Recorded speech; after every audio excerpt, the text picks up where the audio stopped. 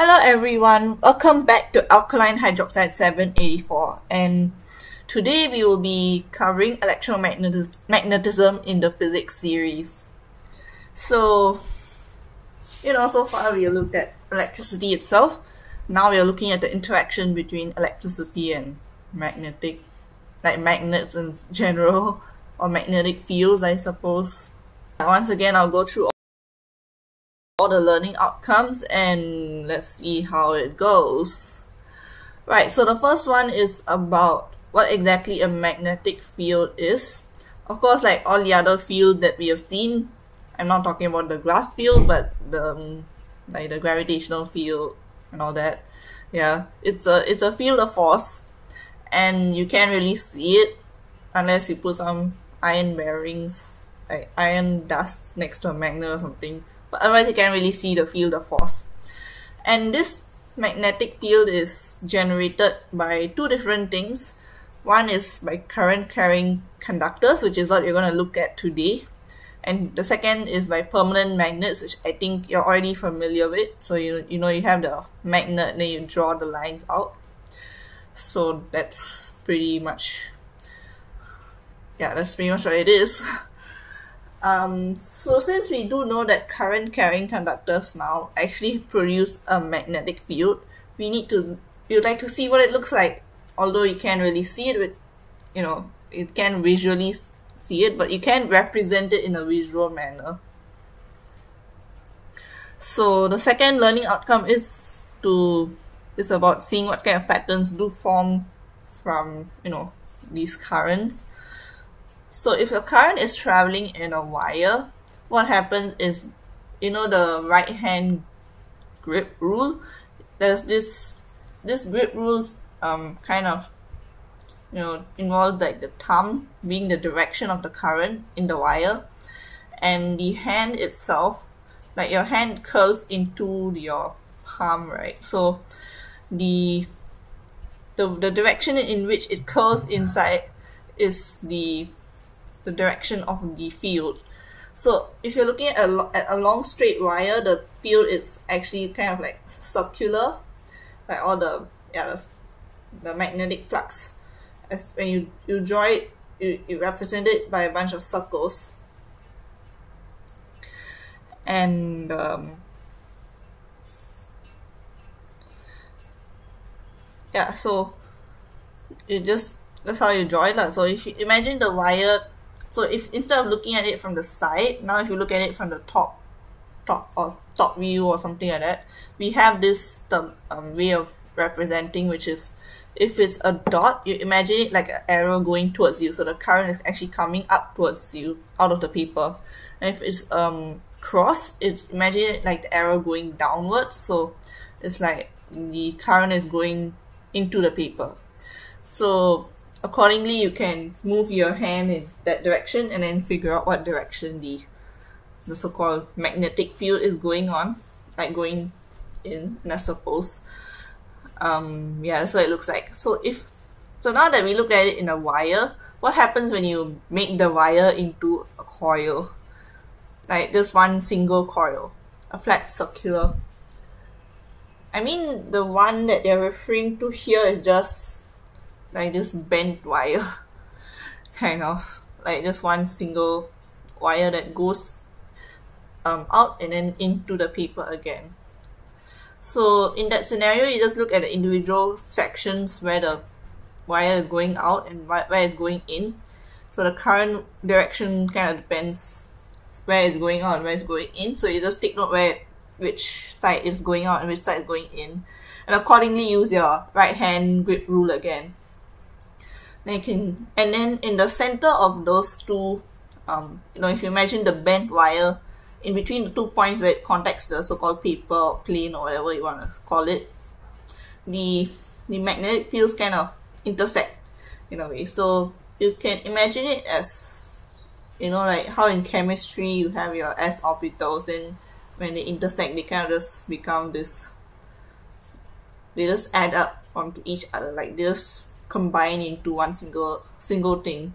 So likewise, this thing will like the magnetic fields also kind of cancel or add on to each other, and it kind of produces this a particular shape which I will have drawn by now, hopefully. And the final one is a long solenoid, and that one would be a wire which is actually coiled into like you know somewhat like the spring in your pen unless you all are using pens that don't require springs or something but yeah like the spring that can have a shape. And since it's coiled if you imagine it as like one section of the coil right if you imagine when the current goes in you can use a right hand grip to to actually see the you know the field. But the easier thing to I mean yeah you can see the field through that and the and since if you think about it the field is like circular for each section of that wire right? So when all of these fields come together like the center kind of has one straight field like one straight field line drawn like when you draw it that's what you draw. You draw one line in the center and then um, the rest of the lines will kind of curve out, out outwards at the edges of the solenoid. And that's kind of what it looks like that's how they combine together. Uh, yeah. So if you want to actually know what kind of magnet the solenoid is you can use the right hand again. But in this scenario you use your the curving part of your hand matching like you match that to the direction of the current. And the thumb will then point towards the north north pole of the solenoid kind of. So that's another way to use the right hand grip rule. Okay so now moving on we you know you have like three different equations inside your data list or whatever the thing that you're given in the exam. And the reason is because you're not expected to memorize this like these equations. So what you, use them to to find the flux density the magnetic flux density of the field so in other words the strength of the magnetic field which is represented by the B so in so you have the B equals to uh, mu naught I or 2 pi d then B equals to mu naught Ni or 2R and B equals to mu naught Ni for the three different cases, wire, coil, and solenoid. So hopefully that would work. So yeah, so the, the next learning outcome is okay. So yeah, for the for the equations, you just need to read it off the data booklet transfer it properly to the question and just answer, like put in all the values and answer. It shouldn't be too hard to do it. That's pretty much it. Yeah. So for D, the, the next learning outcome, which is to show, uh, so the magnetic field due to the solenoid may be influenced by the presence of a ferrous core. Right, so in a solenoid, it, it does have a magnetic field on its own, but the field can, it's not that, it's not like very, um, I guess the, fer the, the ferrous core, in other words, the iron that you put in the center of the solenoid, like an iron rod or something, it helps to concentrate the magnetic field even more because of the fact that like iron has its own magnetic properties. You know the the fact that iron can can have the all of the atoms pointing in one direction kind of thing. The electron spin kind of I'm not not sure if it's electron the atom spin the ion spin can be in one direction I guess. Yeah so it helps to to make the magnetic field of the solenoid much more present and much more easier to um, you know see like to measure in a sense. So the next learning outcome is about oh okay it's it literally just says show an understanding that a current carrying conductor placed in a magnetic field might experience a force. Wow. Brilliant. Okay man so if you know that a current carrying conductor can make a magnetic field then and a magnetic field can also affect the current carrying conductor because the current carrying conductor is a magnet too in a way so technically it makes sense. It, will experience a force. So what exactly is that force? How do you calculate it? Well for that we have our wonderful equation. Force equals to bi l sine theta. Okay um so B is the magnetic flux of the magnetic field. I is the current of the conductor. L is the length. Or yeah kind of. And sine theta is the angle at which the angle between the field and the current. In the sense yeah, the angle between the field and the current. Because if you think about it the force the force magnetic field and current it kind of works in a um, vectory way so it works best at 90 degree angles. And if you think about it sine theta is maximum at 90 degrees. So but if it's not 90 degrees you won't get the full effect of the force. The force won't be maximum. And therefore that's why that's why you need the sine theta there. Sorry. Okay. But if you're looking at the exact direction of each of them, um, as because you know it's vector, it's it's kind of like the y x y z axis kind of thing. But if you want to make your life easier, you can use something called Fleming's left hand rule, which is um just take your left hand, you know, keep stick your thumb the, and the first two fingers out. I think you know what I'm talking about. You can just search it online if you're still confused and the top the yeah the, the thumb is actually the force. The the first I, I don't remember what each finger is called. Okay but your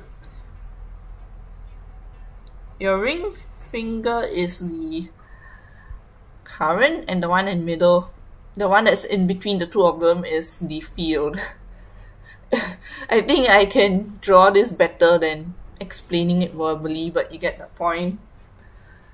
So the reason why this makes sense is because if you look at vectors, you have this uh, equation where two vectors can be multiplied and you get the cross product of the vector, which is the, the, the cross product is the thing that sticks out perpendicular to those two vectors.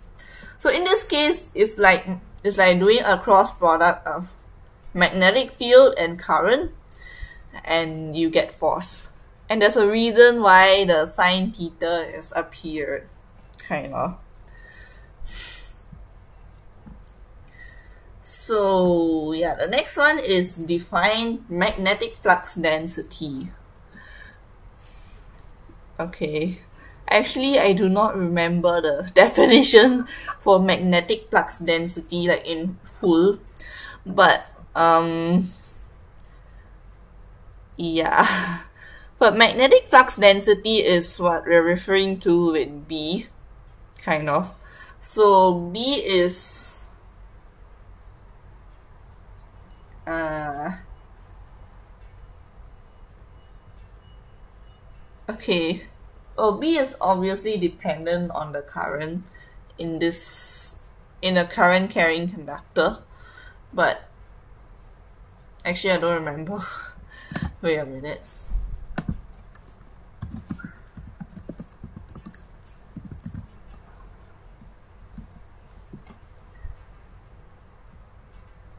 Oh, okay, okay. Cool. Yeah, I remember now. So, in normal density, you have the pressure. Wait no. Normal density you have the mass per volume right? So in magnetic flux density we are, we're not looking at mass and volume here but we're gonna look at the amount of flux there is per area. So it's like um it's like an average value or it's, it's like a density but for magnetic flux. So it's um so if you want to define it, you must write down the specific value of areas. So you use those SI units and then define it. Like. So magnetic flux density is is defined such that actually you don't really need to say one Newton. Uh, uh, wait, well, not one Newton, sorry. it's defined as the average uh, it's defined as the magnetic flux over the area that the magnetic flux kind of covers, I suppose. And yeah, that's pretty much it. Okay, so so the next learning outcome is how the force can be used to measure the flux density. Okay, so you have the current carrying conductor and it um, experiences a force because it's in a magnetic field as we just saw.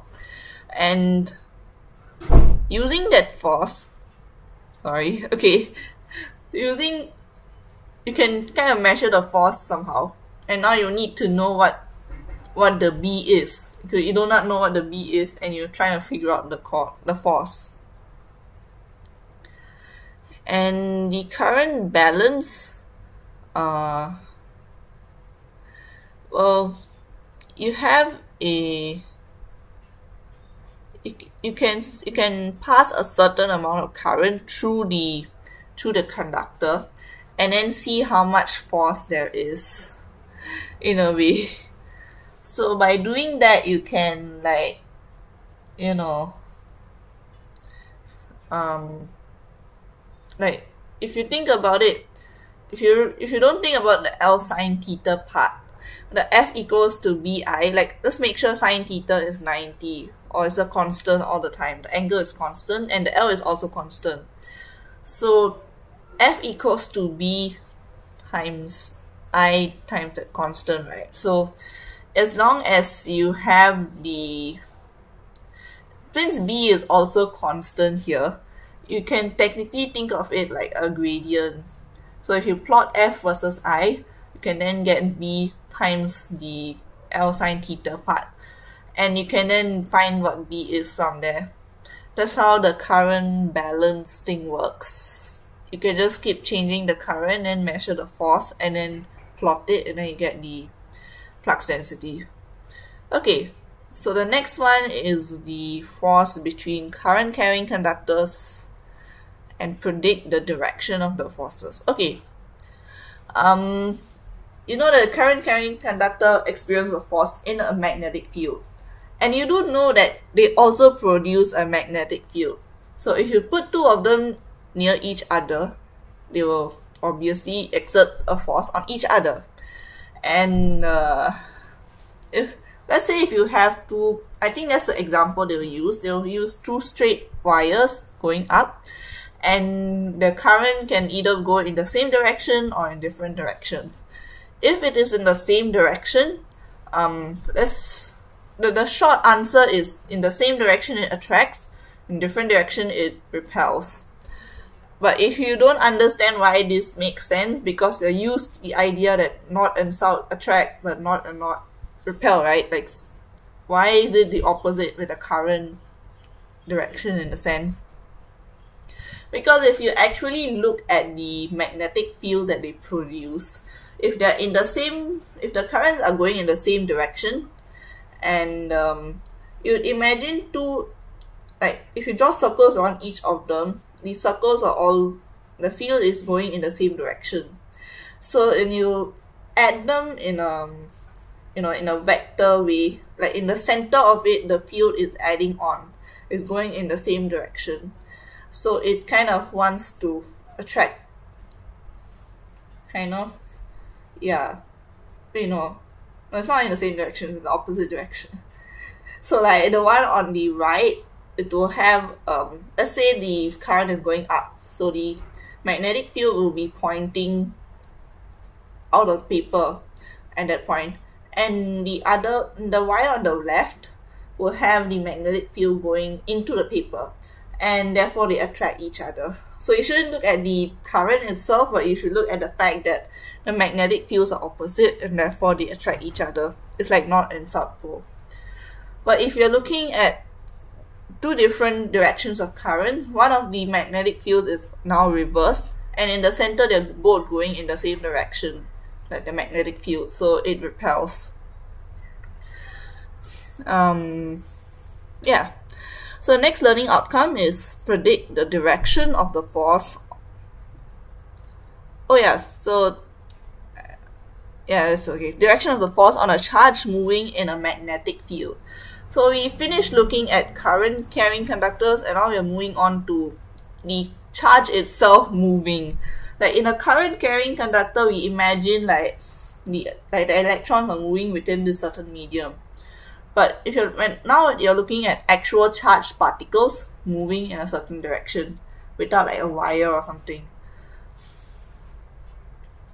But they are still technically they still technically work like the current carrying conductor because it is a charge that is moving. So it is a current of its own in a way. Um, so when the charge moves in the magnetic field we you can think of the direction of the charge as the current in a way. So if if the like the conventional current is actually opposite to that of the the movement of negative stuff I guess. So um sorry my nose is like stuffy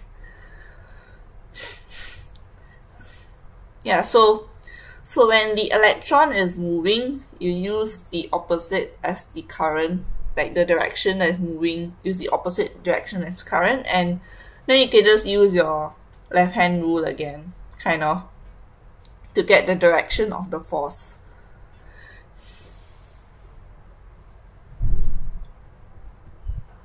Okay so the next one would be recall and solve problems using the equation f equals to bqv sine theta. Okay, so earlier we saw f equals to bil sine theta. But I'm gonna just tell you that this is technically somewhat equivalent to that. It's just the difference is the il and the qv. In the in the conductor, you can afford to put il because the conductor has a length and it has a current. But when you're looking at the charge, you don't really know what the current is unless you factor in the how fast it moves. And the V actually account for the for the fastness bit and the length as well. So QV is kind of similar to IL. And this equation definitely works, so you can definitely do that.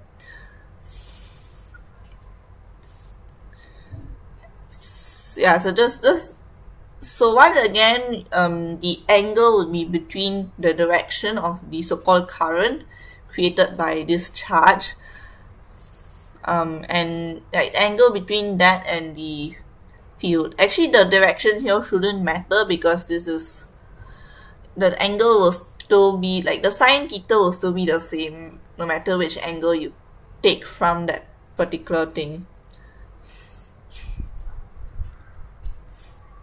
the only the only like in terms of magnitude it will be the same. Um as for positive negative it kind of depends on where you take the angle as well so just take note of that lah. so uh yeah.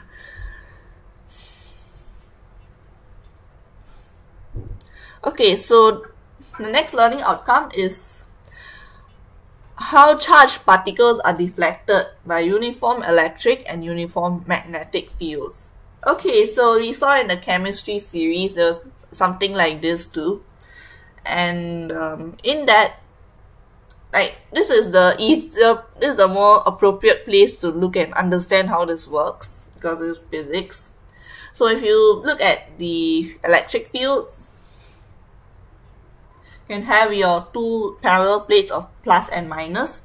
So logically speaking, like how north and south attract each other, plus positive and negative will attract each other. So if your charged particle is positive, it will go towards a negative, and if it's positive, it will go towards. Wait, what? Yeah, if your charged particle is positive, it goes towards negative. If it's negative, it will go towards a positive. Yeah, great. And if it's neutral, it won't go anywhere, I suppose. And um, now we see how they move in a magnetic field. So if the, the typical way to represent this is that they will show the magnetic field going in or out of the paper and then you send like this charged particle uh, perpendicular to the magnetic field. So what happens is that charged particle goes in a circular motion. I am not kidding you. Your notes are not kidding you. It def it goes in a circular motion. The reason for this is when you take your left hand and you look at the the directions in a sense, like the charged particle itself, you can imagine it like a current, right? So so at the, initially the the current is pointing you know in this direction and then the, the magnetic field is pointing either up or down and the force would then be is perpendicular to these two at all points so since the force the force is perpendicular to these two if the magnetic field is large enough for it like the, it spreads over a lot, large enough area then the charged particle will eventually um, assume a circular motion because it the force on it is somewhat like that in a circular motion, like the the the centripetal force in a sense. And therefore it goes in a circular motion as long as you don't do anything else to it. But um, it is possible to make it not just go in a centripetal, like a circular motion, but in or forward at the same time.